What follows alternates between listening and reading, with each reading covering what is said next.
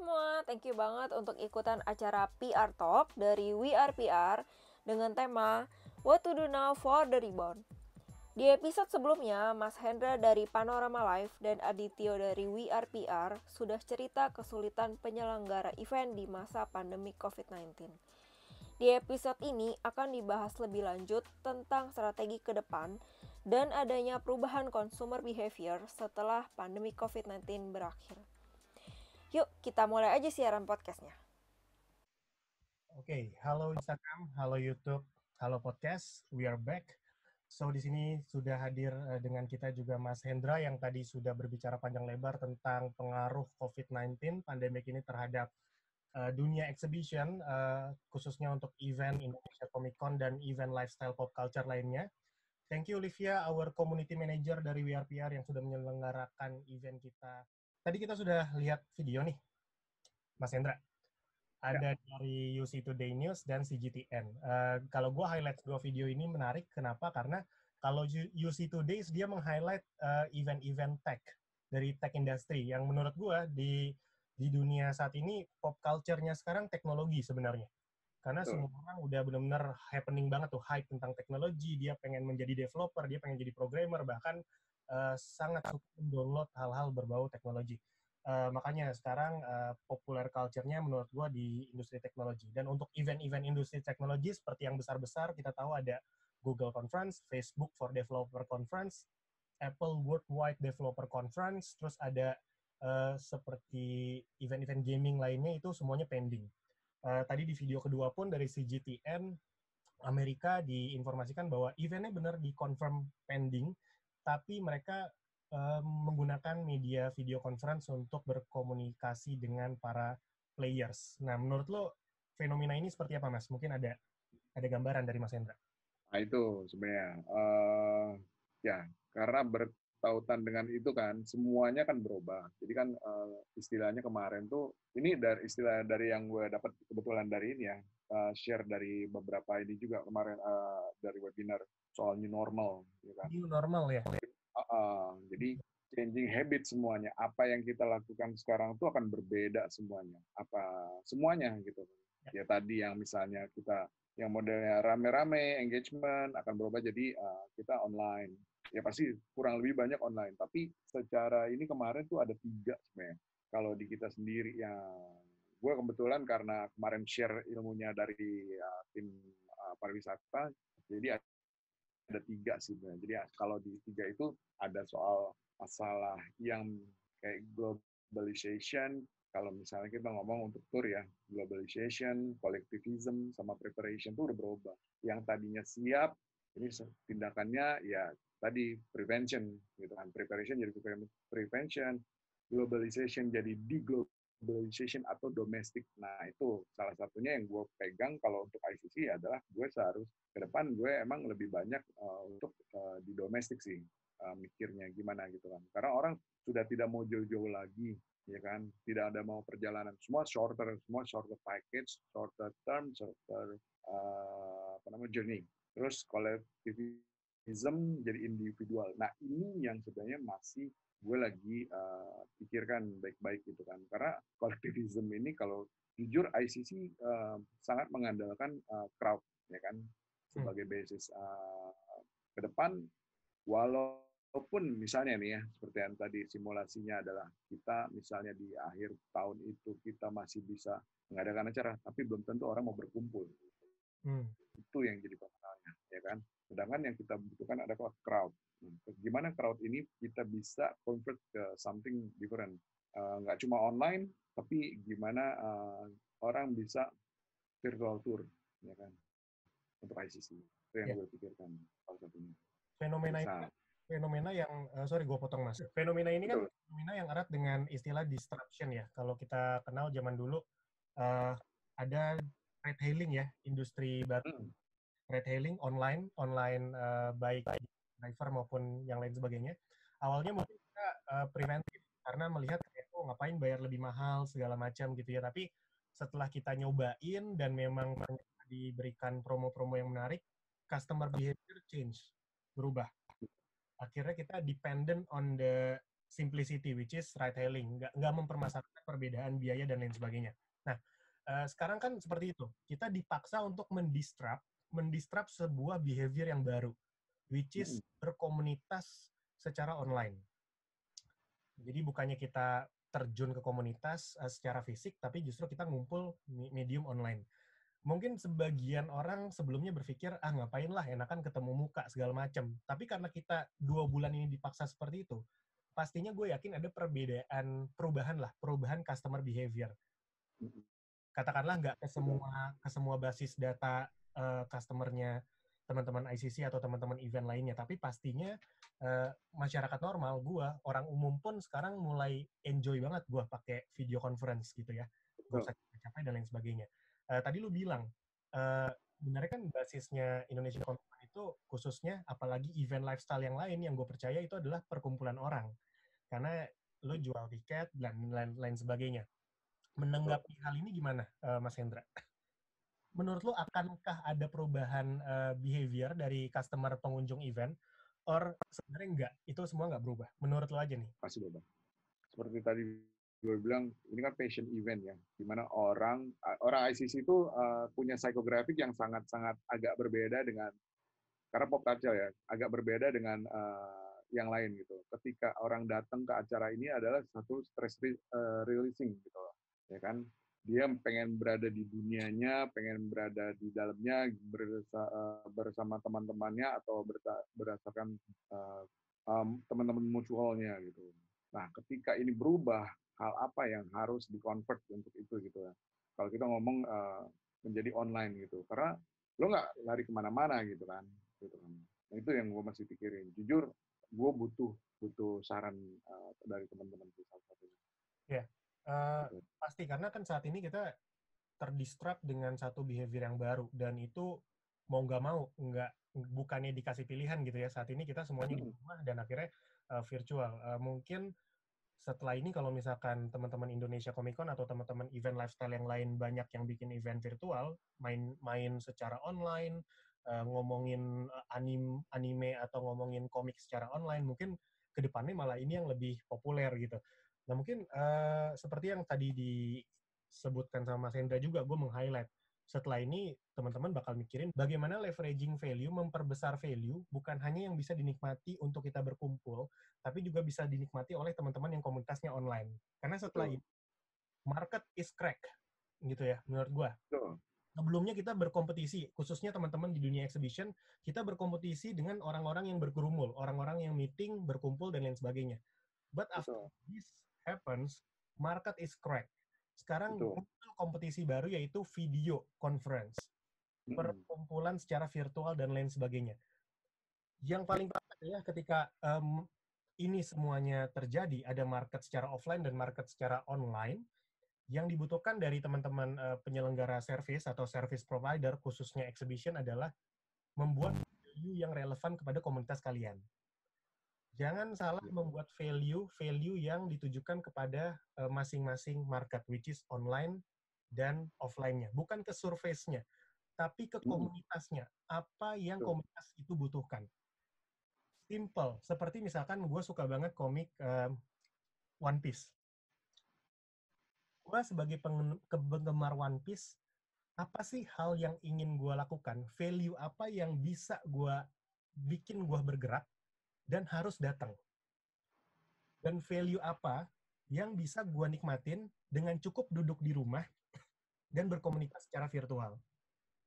Differentiate your value, tapi menghadirkan value offline dan value online kepada spesifik segmen market yang lo target lu targetkan komunitas komik, lu create value-nya itu di offline dan online. Lu targetkan gamers offline, apa yang menyebabkan mereka harus datang berkumpul, apa yang mereka menyebabkan cukup di rumah dan enjoy doing Betul. virtual gitu. Jadi mungkin ke depannya seperti itu karena setelah ini marketnya crack, exhibition organizer nggak bisa berpikir dari sebelah mata aja.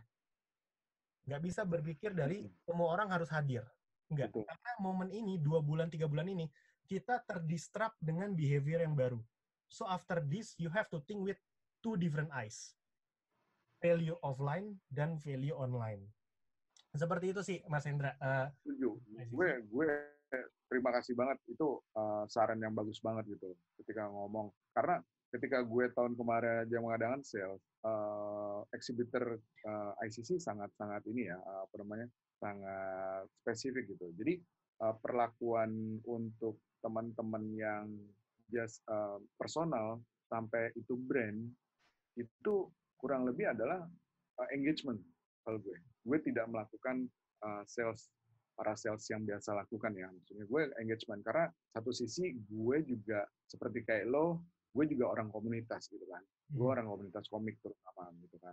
Jadi gue paham banget psikografik mereka. Jadi gue akan selalu mereka kalau emang gue harus sowan sowan, even itu satu atau mau corporate itu sama aja. Jadi nggak masalah. Cuma sekarang itu lebih tantangannya lebih gede. Karena apa? Seperti lo bilang segmennya fracture, ya kan? segmennya tadi crack, fracture, gila. Anggap aja kalau misalnya itu segmen, kalau misalnya contoh komunitas kemarin itu ada sekitar 19-20. Berarti gue harus treatment 20-20-nya dengan konsep dan konten yang spesifik buat mereka. Benar? Betul. Ya. Nah, itu yang kita Nah, itu uh, artinya kita harus come up dengan sesuatu yang benar-benar yang sesuai dengan kebutuhan mereka. Sip, sip. Thank you. Thank you. you itu competition you will winning the market actually. Betul. Nah, uh, balik ke pertanyaan dari Instagram kita ada yang bertanya nih, Mas Hendra. Dengan adanya COVID-19 ini apakah ada pengurangan target jumlah eksibitor yang akan ikut? Uh, Oke, okay. kalau itu kalau ditanya akan ada, pasti ada. Gue yakin akan itu. Cuma tetap uh, kita berusaha gimana caranya untuk melakukan uh, kurang lebih sama apa yang diharapkan uh, kembali lagi sih. Karena ini sesuatu jadi new normal, gue bukan melihat lagi adalah volume, tapi quality gitu. Di mana adalah changing exchanging value-nya sama yang diharapkan seperti uh, dari target bisnisnya seperti itu mungkin ini kalau gue jawab juga karena gue kan juga agency gue berjalan di bidang provider via agency. Uh, bisnis model itu dan uh, bisnis operation dynamic. Jadi ketika kita di masa covid ini kita nggak mungkin nyamain target seperti uh, planning kita sebelumnya. Betul. pasti kita harus ada um, penyesuaian. Pastinya untuk target ya kita harus terbuka ini pasti berubah. Apakah mm -hmm ini lebih sedikit? Ya mungkin. Mungkin di beberapa industri ini akan menjadi lebih kurang tapi di industri Betul. lain justru ada yang meningkat. Betul. Industri produksi uh, obat-obatan, masker, lain sebagainya.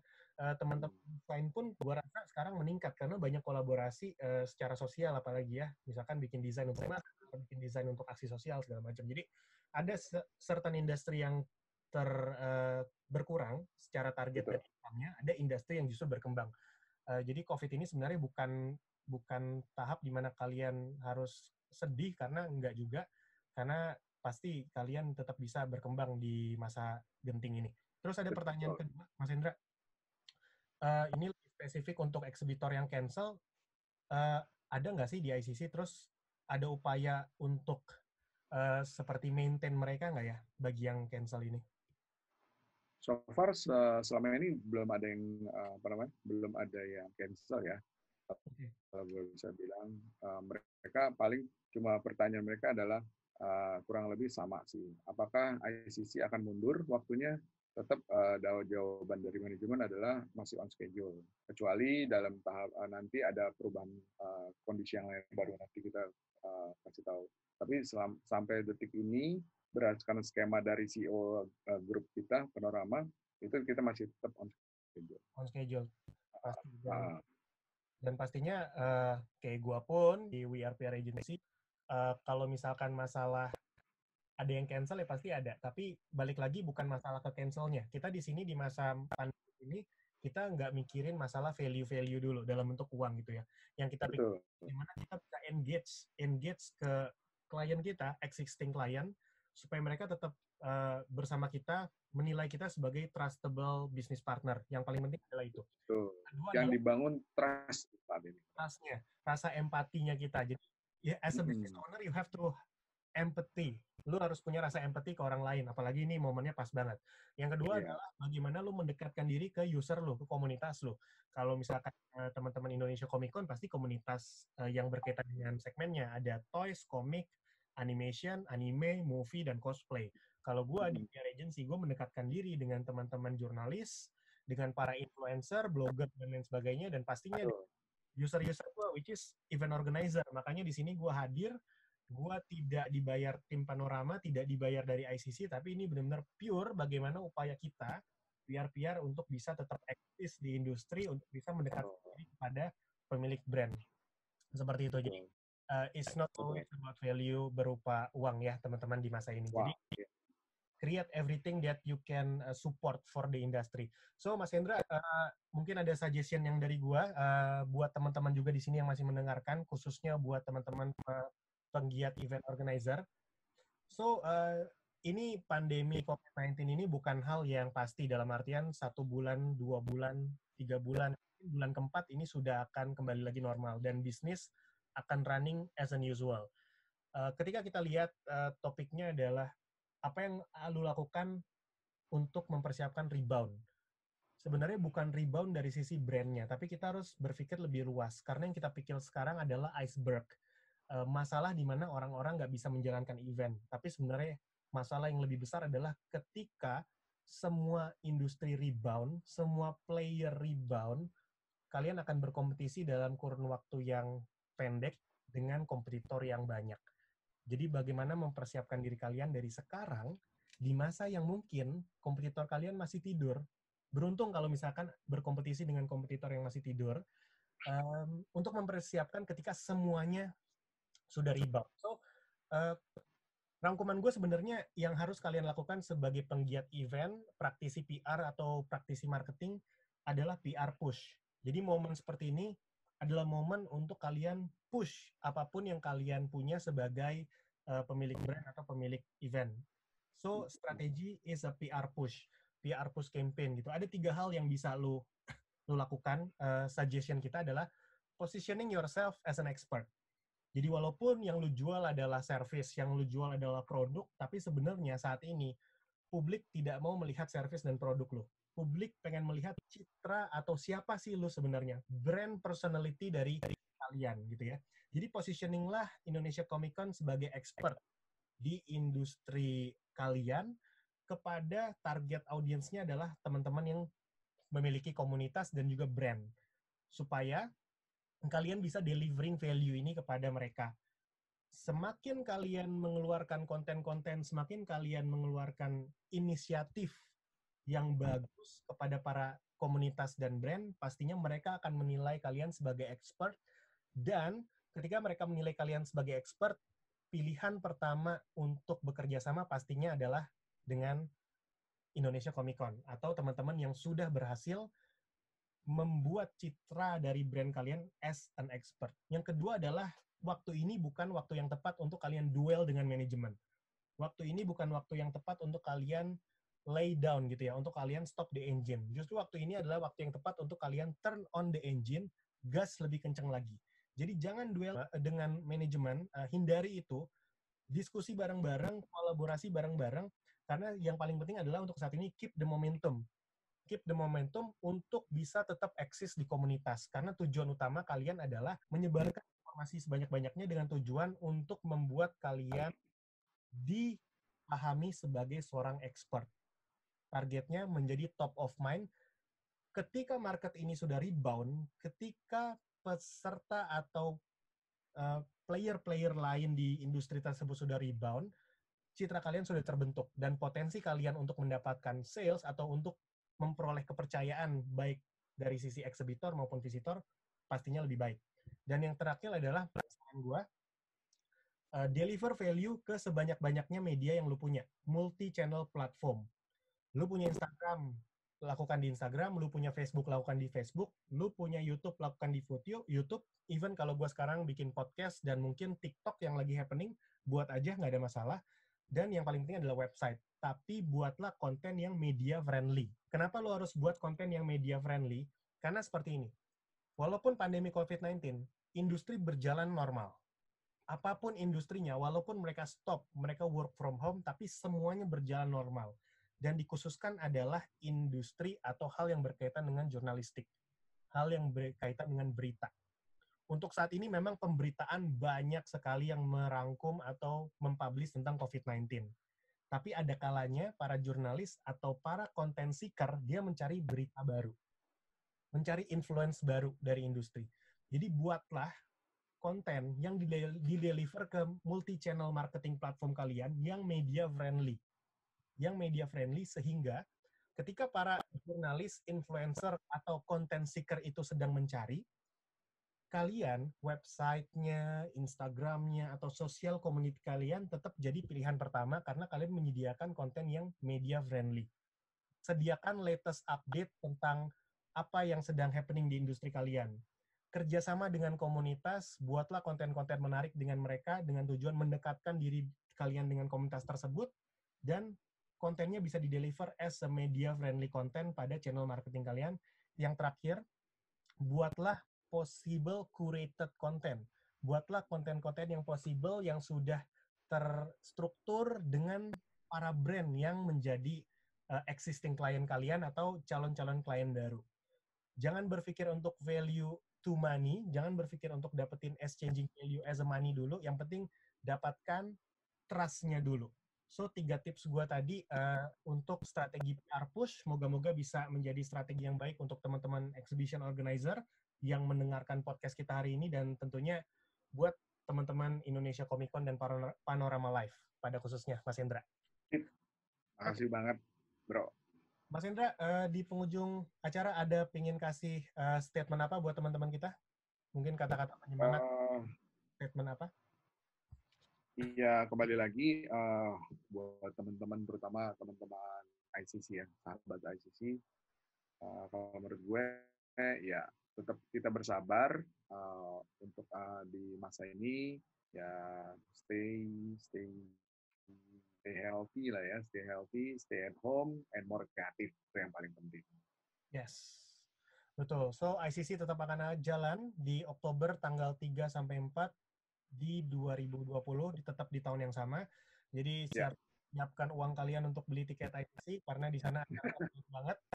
Asli keren banget. Ada cosplay ada banyak banget oh, mainan promo segala macam dan ada banyak konten-konten yang mungkin gue nggak bisa sebutkan sekarang karena kontennya selalu menarik setiap tahunnya. Dan yang selalu gue lakukan adalah ngantri tanda tangan di uh, guest guest wall ya kalau nggak salah ya. Ya banyak hmm. banget artis-artis uh, luar negeri yang diundang oleh ICC so uh, eh, gue tutup sesinya. What to do now to prepare for the rebound? Pastinya jangan berpikiran dari sisi iceberg teori saja karena kalau kalian terkurung di iceberg, kalian hanya berpikir sulitnya di masa pandemik. Tapi kesulitan sebenarnya adalah setelah masa pandemik ini selesai, semua industri rebound, akhirnya kalian harus berkompetisi dengan klien atau kompetitor yang banyak di periode waktu yang sangat singkat.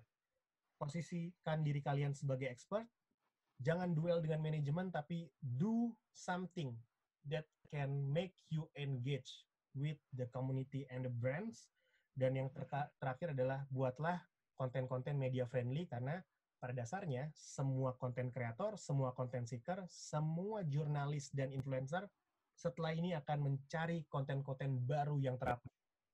So, jadikanlah kalian sebagai top of mind. Thank you Hendra dari Indonesia Comic Con dan Panorama Live. Sampai ketemu di podcast PR Talk selanjutnya.